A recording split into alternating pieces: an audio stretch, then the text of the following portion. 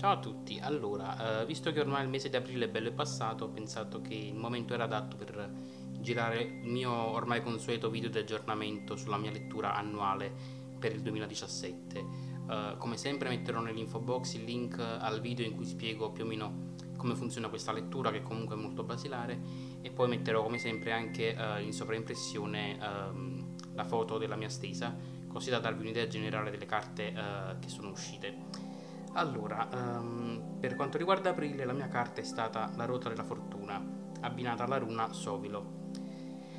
Allora, um, devo dire che uh, è stato piuttosto inaspettato um, l'andamento di questo mese per me e onestamente mi aspettavo che fosse un tantino, non per forza positivo, però un attimino forse più, più tranquillo e prevedibile, invece devo dire che è stato veramente pieno di cose che non mi sarei mai aspettato e anche un po' sgradevole sotto certi punti di vista. Quindi, come sempre, eh, le carte, anche per quanto noi le possiamo conoscere, ci riservano sempre qualche sorpresa e questo è un po' anche il bello, secondo me. Difatti, eh, il motivo per cui continuo a fare questi video e a, e a controllare periodicamente l'andamento dell'anno è proprio per vedere in che modo posso interpretare bene oppure meno bene a volte le carte e quali sorprese appunto possono riservare. Se parliamo di aprile, ehm, la ruota della fortuna in generale noi sappiamo che eh, dovrebbe presagire qualche cambiamento, no? la, la, ruota che gira, quindi sicuramente eh, qualcosa che si modifica, che, che avanza magari. Però mh, per quanto mi riguarda non è stato affatto così, nel senso che per me aprile quest'anno è stato caratterizzato sì da qualche cambiamento, però nulla che in realtà fosse particolarmente proiettato in avanti. Ora, eh, in effetti il significato della ruota potrebbe anche essere interpretato a volte come qualcosa che cambia, non necessariamente in positivo, però questo è qualcosa che è molto difficile da dire quando non si usano le carte al rovescio. Io personalmente ho scelto di non utilizzarle uh, da più di un anno a questa parte e quindi se avessi avuto la carta in questo modo forse sarei stato più tentato di vederla come poi effettivamente è andata. Avendola dritta per scelta sicuramente, uh, è chiaro che ho avuto molta più difficoltà e in effetti poi i fatti uh, hanno dimostrato che la mia visione è stata un pochino limitata, quindi da questo punto di vista credo che sia una grande lezione quello che ho imparato comunque. E mi sta portando forse a rivalutare anche un po' questa mia politica verso le carte del rovescio. Non dico che voglio uh, imparare o comunque ricominciare da subito a utilizzarle, però sicuramente scegliere di usarle sempre e solo al, al dritto credo che stia cominciando a darmi un po' stretta come cosa, quindi già questo credo che sia uh, qualcosa su cui riflettere, quindi diciamo che da questo punto di vista ecco, è già qualcosa di importante se vogliamo. In particolare poi la carta della ruota della fortuna tratta da questo mazzo, il Wild Unknown, che ho scelto di utilizzare per questa lettura annuale, uh, avrebbe dovuto probabilmente uh, farmi capire che questo mese sarebbe stato un po' ingarbugliato, nel senso che uh, se guardiamo la carta, questa qui somiglia quasi a una chiappasogni. Ricordo quando ho fatto la recensione del mazzo che mm, insomma mi aveva un po' colpito perché c'è questo ingarbuglio veramente, tutti questi nastrini uh, legati e, mm, che si intersecano e non si capisce quasi nulla, no? Quasi a voler far capire che uh, sì, la ruota del destino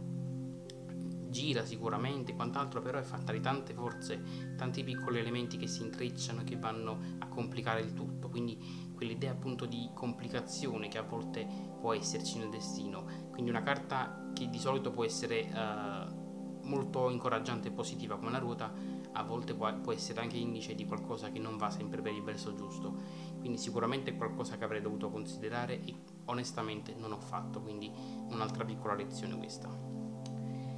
E, ehm, il fatto poi che uh, essendo in primavera ormai devo cominciare per forza a rapportare un po' questa carta a quella che mi è uscita per la summa diciamo dell'anno che è il mondo. È molto interessante che io abbia adesso in questo periodo la ruota e il mondo che sono rispettivamente la carta centrale degli arcani maggiori e quella finale che poi entrambi in realtà vanno a rappresentare sia qualcosa che finisce ma al tempo stesso qualcosa che inizia. Quindi sono carte speculari se vogliamo e quindi è molto bello secondo me uh, poter cominciare a rapportarle. E se devo fare una sorta di, uh, di paragone fra le due sicuramente il passaggio dalla ruota al mondo mi fa capire che c'è qualcosa che attualmente nella mia vita è molto disordinato, molto ingarbugliato, molto complicato anche, che però è, è, deve essere così perché altrimenti non potrà poi evolversi verso la stessa forma se guardiamo, però tutto molto più regolare, tutto ordinato, tutto al proprio posto. Uh, gli stessi colori che abbiamo qui li abbiamo anche qui però disposti in un ordine ben preciso mentre qua sono alla rinfusa quindi mi piace moltissimo questa idea che adesso da questo caos attuale più o meno forse sta iniziando il momento in cui piano piano si arriverà poi a una forma di ordine, a una forma di completezza, quindi da questo punto di vista voglio vederla in modo incoraggiante. Inoltre um, la parte più positiva diciamo di questa lettura è che in abbinamento appunto c'è la runa Sovelo che come sappiamo è la runa del sole. Quindi già di per sé insomma dovrebbe essere abbastanza positiva. E però la cosa che mi piace di più di Soul è che anche essendo legato al sole la sua forma in realtà ricorda più quella di un lampo, di un fulmine. E io ho sempre visto i, i fulmini e i lampi come qualcosa che in effetti uh, dura un attimo solo però in quell'attimo vanno a connettere cielo e terra, quindi vanno a connettere due realtà molto diverse, quali possono essere quella materiale e quella spirituale, ad esempio, ed è qualcosa che curiosamente ritrovo anche nella carta, perché abbiamo la ruota che rappresenta anche un po' il mondo, no? per la forma ovviamente, però intorno ad essa abbiamo il Sole e la Luna, quindi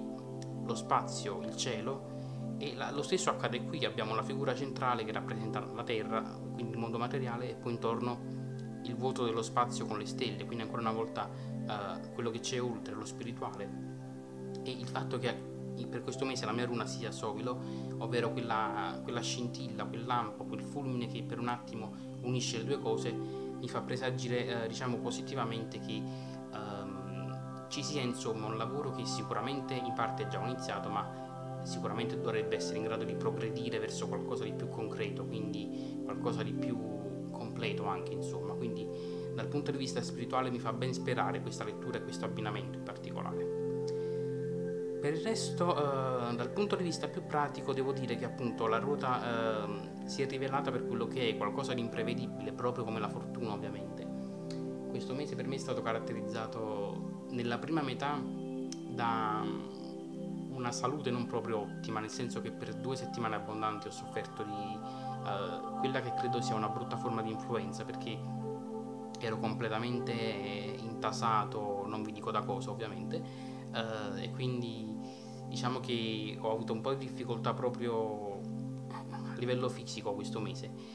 Poi però verso la metà del mese mi sono un attimino ripreso, salvo poi comunque dover avere a che fare uh, con altri tipi di problemi e, in effetti qualcosa di nuovo è stato, sia questa influenza che mi è presa perché di solito non mi becca mai in modo così grave,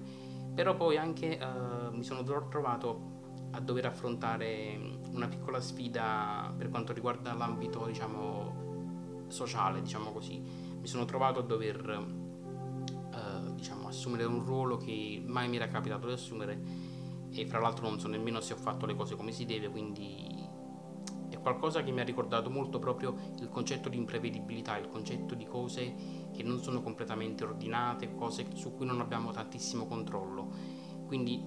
diciamo che dal punto di vista strettamente più pratico e, e sociale anche, e anche fisico eh, non è stato un mese proprio al top, anzi direi che finora è, insieme a febbraio forse è stato il peggiore di questi quattro. Però diciamo che invece dal punto di vista spirituale eh, l'ho vissuto un pochino meglio, mi sono fatto più domande, ho trovato qualche risposta, eh, quindi sicuramente il fatto che sia un arcano maggiore la ruota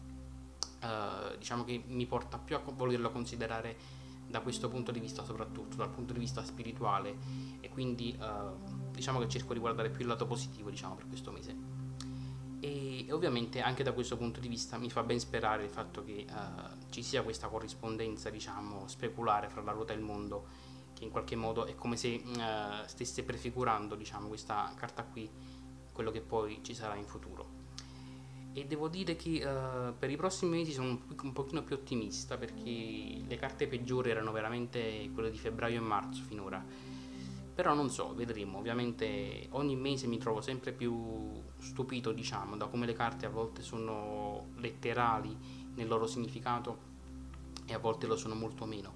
Quindi ancora una volta credo che questo sia il bello della divinazione perché ci stupisce sempre. Io penso che nel momento in cui pratichiamo divinazione e sappiamo già tutto e sappiamo cosa aspettarci, eh, paradossalmente, allora a quel punto credo che perda molto del suo fascino e perda molto della soddisfazione che può darci. Quindi con questo è tutto, spero di avervi tenuto compagnia con questi miei sproloqui e, e nulla, vi do appuntamento al prossimo video eh, che sarà sicuramente a breve. Ciao!